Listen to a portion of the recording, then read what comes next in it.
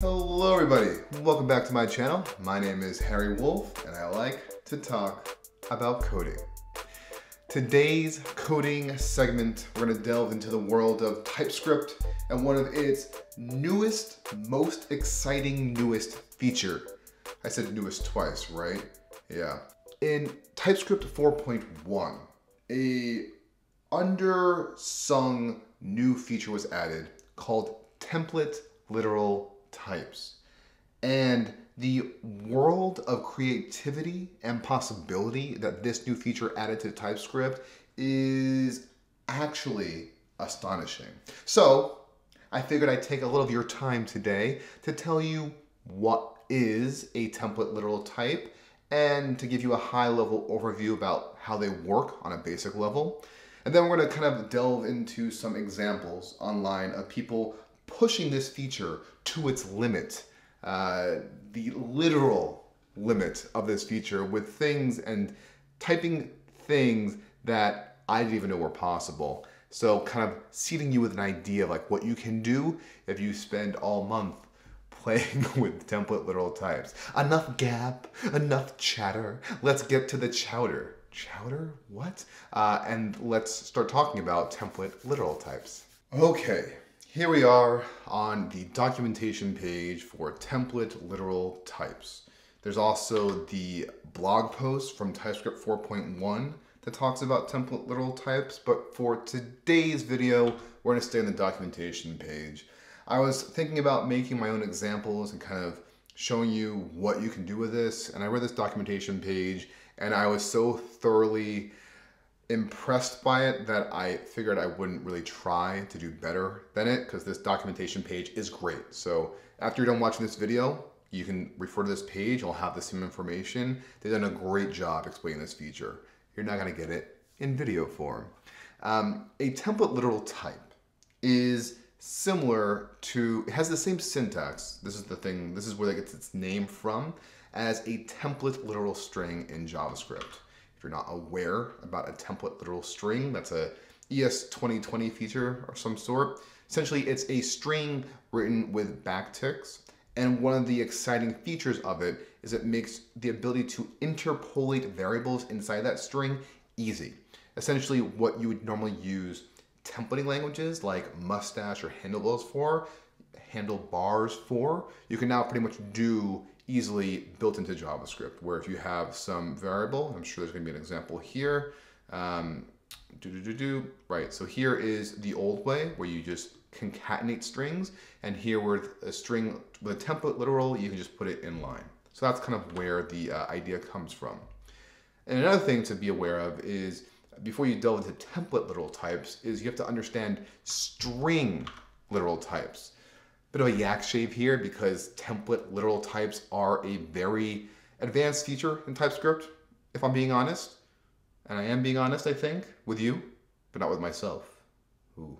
A literal type in TypeScript is the literal value that you're typing. So in TypeScript, you have the types of string and number, where, let me try this, move this new tab um, where if you have let foo string equals Harry, so this is saying that the type of foo is a string, which means that I can reassign foo to equal um, Barry, my evil, evil twin. So this is just a plain string type. It's not really exciting. You've probably dealt with it if you used TypeScript in the past, super common. Instead, what we could do is make a literal type. We can say bar has the literal type of Harry, which is saying that bar, the type of bar is the string of Harry, such that if I were to try to do uh, bar equals my evil twin Barry, TypeScript says, oh no, no, no, evil twin, I know you. You can't assign the type Barry either this is going to be a string or a literal type of Barry to one that already says Harry. It has to be Harry to make things happy. And that's how I don't get my credit card stolen anymore with TypeScript. So that's the two kind of building blocks for template literal types is the template literal string from JavaScript and string literal types. So you can kind of combine those two things together where you can make a type which in TypeScript a type is just an alias to something. So the type of world is the literal, the string literal of world. And then using template syntax, you can interpolate that value into here and get the new type of hello world. Uh, it's kind of adding the functionality that you have in JavaScript with template literal strings right into the type systems. You can essentially operate with template types. And what's really cool about template literal strings is that it will expand unions. So the better example I have here is, so here we have email IDs. So the email can be a welcome email or an email heading, and the footer can be footer title or footer send off. And if you want to actually make, if you're making, you know, a email library, you want to say what all the local IDs can be, you can make a union of email and footer and suffix on that interpolation the ID value, such that when TypeScript evaluates this, it'll expand it to welcome email ID, email heading ID, all those things for you. You kind of get an idea of like what you can do here. You can kind of just dynamically, which is very strange to say with TypeScript, which is static typing, but you can dynamically create new static types, which is why it's so crazy to me. This is a similar idea, idea here where you have a union of values of languages, the locale IDs, and it'll expand this to all that for you. What's even more advanced to me is how, and probably more practical, is when you're kind of taking an object and making operations on top of it. So before, this was impossible to do, but now possible with template literal types. So if you want to have, let's say you're, make, you're trying to make an event emitter on an object, this function that will make an event emitter on the person object such that you can say, when first name changed, the property here, call my callback. Before string literals, uh, template literals, there was no way to actually, uh, that's fine. There was no way to actually type check this first argument. There was really no way to do it. You could just put whatever you want in here and TypeScript would have no way of knowing if it was valid or not. Um, our event emitter function here is saying it needs to have the first name as the key plus changed and no more. So instead what you can do with TypeScript, and this is some fancy work over here, is when you're declaring this function, it takes in a generic, which is just a variable for a type. If you see my previous videos, that's the easiest way to think about. It takes an argument where the first argument has the shape of whatever the type is. So when let's actually combine this together. Let's bring this back over here. Okay. So let's see this actually complains. Yes, cool. So this is going to be a working example. Some live coding. It's always scary. Um, where was I? Oh yeah. So this is the watch object. The argument is any arbitrary object, which is why it's an object, a shape of type. We don't really care about typing it. It's just saying that this is a type variable that's being put here. And the return value, this colon says the return value from this function, is one that is the shape of type, right? Because it's still going to be, this person will still let you actually access the properties. It's still going to be a, an object. It just has more functionally added on top. And then also it's going to be having the properties of prop event source such that this on operator, which is here, is being typed as the event name, this first argument, is, so here's some interpolation, right? A template literal. It's a string, so it has to be a string because that's the common denominator, and all the keys of type.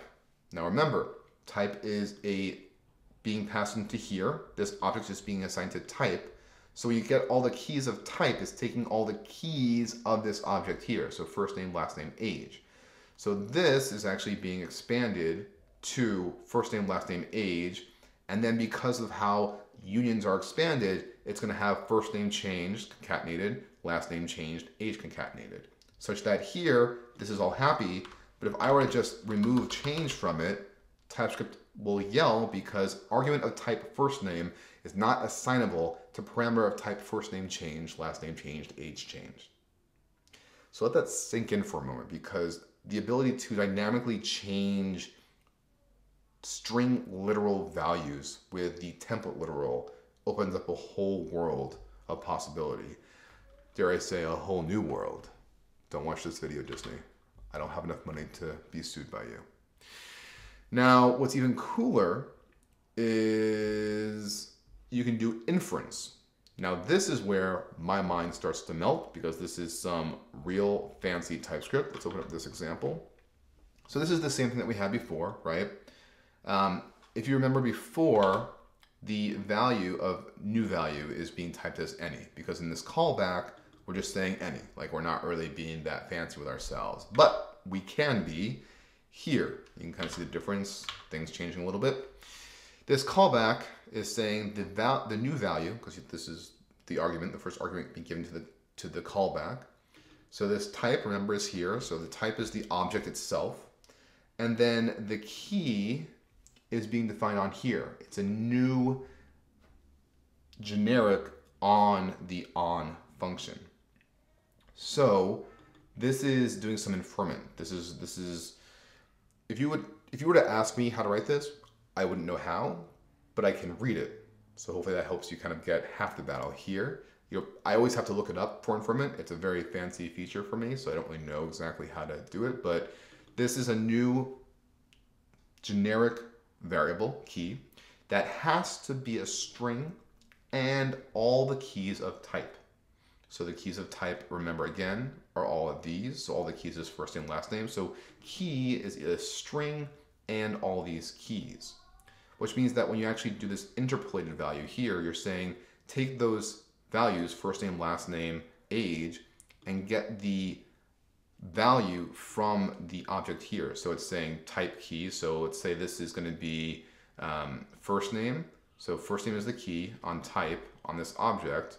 So first name on this object is going to be Circe, which is going to be a string. So here, this is being typed as string.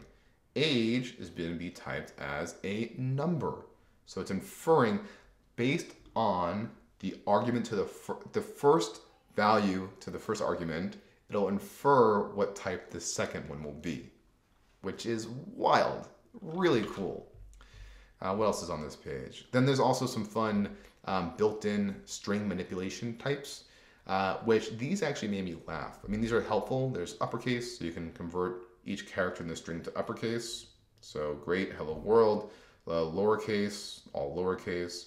When I actually looked up in the codebase how these are implemented, um, I saw that they were typed with this intrinsic value, value, uh, value, which is a little bit of magic. When you actually go down here uh, in the documentation, you can say that uh, these types are built into the compiler for performance and can't be found in the files included with TypeScript. And you actually go to the bottom and you can see the technical details on how these are being implemented and it's just some nice simple switch statements with some string manipulation. So that's just what these are. Kind of helpful for you to dynamically create new string literal values in your TypeScript applications.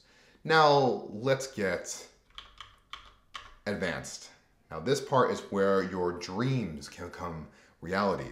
This is a curated list of awesome template literal type examples.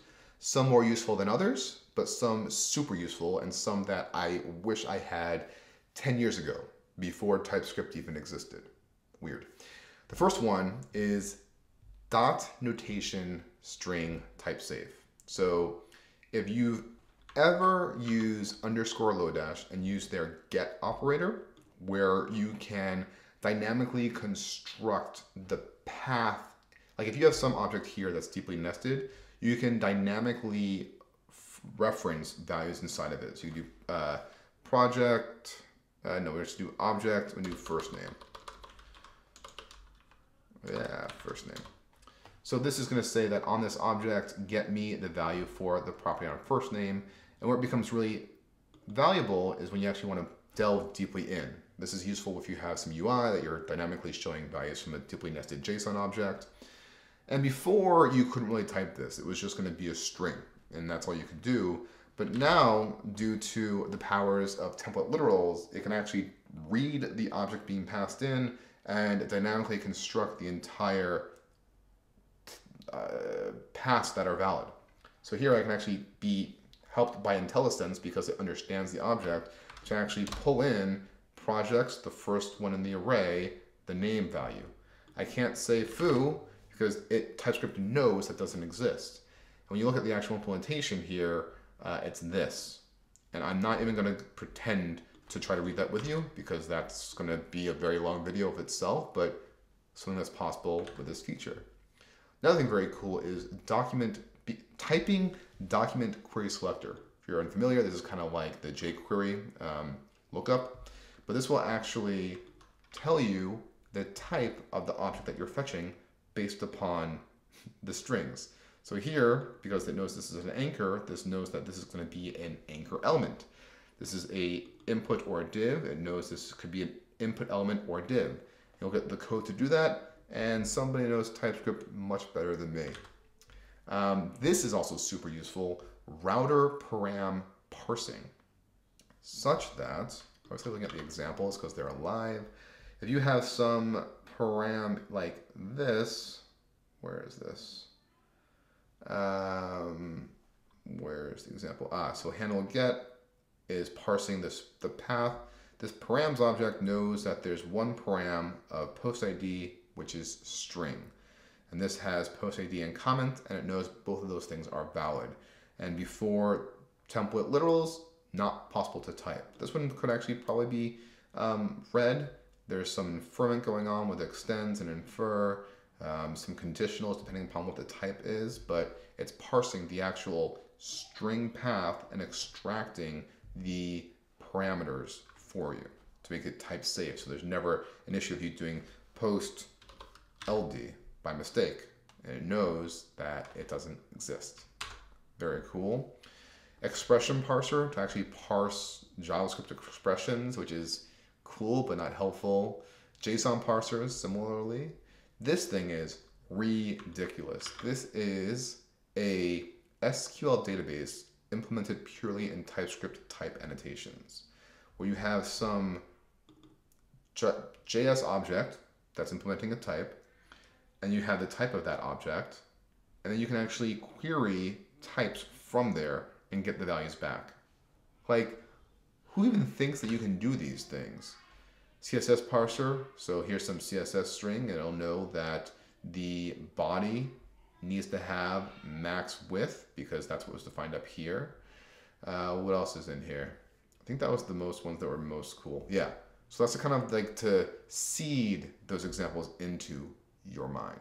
Okay, and that was kind of a intermediate tour of TypeScript template literal types, a feature that I myself have not used in my day-to-day -day coding, but one that is useful to be aware about in case you see yourself having a need that is only fit by this feature. There are some things that you can only do with TypeScript template literal types, and the fact that this feature now exists opened those doors to you. So I'm curious if you have used it in your day job. Let me know in the comments. I'd be very curious to hear what pragmatic, concrete examples you've had rather than just writing a JSON parser for the fun of it, which is definitely fun. Uh, if you enjoyed this video, leave a like and a subscribe and tell all your friends and plant friends because I don't have enough plant subscribers on this channel. I need to get those numbers back up. So subscribe if you aren't already and I'll catch you again in the next video. Stay happy, stay coding.